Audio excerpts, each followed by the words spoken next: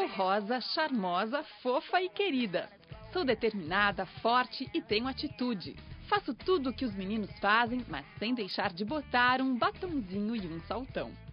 Esse é apenas o começo de um manifesto que já está na internet, virou bandeira entre jovens mulheres e agora vai estampar as páginas de uma nova revista.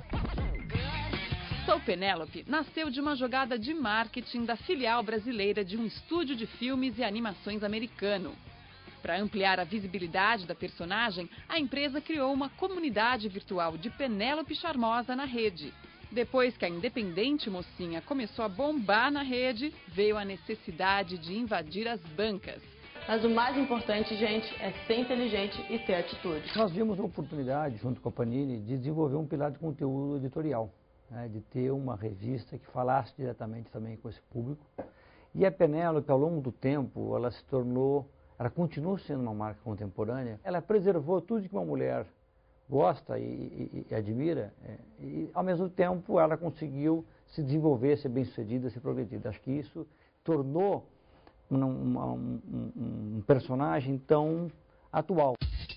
Independente e vaidosa. É nessa imagem que a nova geração vai buscar referências. Para melhor alinhar o produto ao gosto delas, a revista impressa ganhou novas sessões e a colaboração das embaixadoras.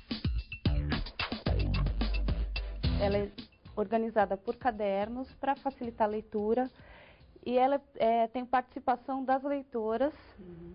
e das meninas que a gente chama de embaixadoras Penélope. E elas colaboram 100% da revista. Por que 100%? A gente, desde a é, da formação dela, da estrutura dela, então a pauta, quem vai na capa, é, o que, que vai ter de, de matéria, o que, que vai ter de reportagem. Onde vocês buscam essas embaixadoras?